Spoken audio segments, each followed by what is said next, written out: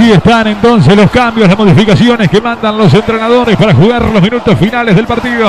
87 minutos y medio hay tiro libre que favorece a Nacional que ahora buscará poner el gol del empate. Irá al bolso por la utópica como en Porto Alegre, como contra el Dima acá. En los minutos finales buscar empatar el partido. Está Zavala, está Martínez para pegarle a la pelota. 88 minutos de juego. Ordena la barrera el guardameta brasileño John.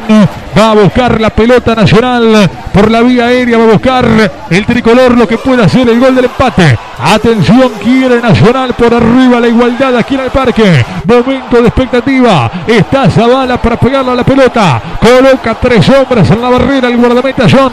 Le va a pegar a la pelota Zavala. Vino el centro al área, vía el segundo palo.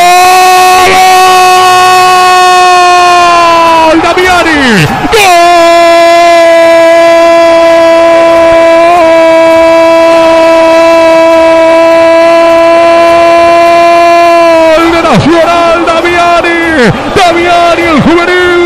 El número 29 con un golpe de cabeza sobre el segundo palo.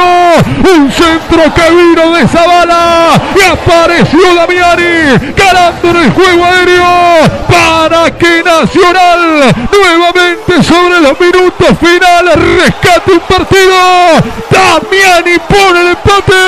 1 a 1 el juego en el parque. Multimedia, la otra manera de vivir el fútbol. Y qué lindo salto que metió Damiani ganándole nada más ni nada menos que a un experiente como el mercado el argentino que eh, lo perdió, que perdió justamente en el salto, en el juego aéreo ante Bruno Damiani, el juvenil que vino desde el banco de suplente, le trajo la solución, le trajo vida al equipo de Gutiérrez que sigue peleando por la clasificación. Ni hablemos del centro de Diego Zavala, realmente a la cabeza se la tiró al Jalan uruguayo, como diría Gigliotti. Bruno Damiani pone el empate y la esperanza para Nacional en este partido.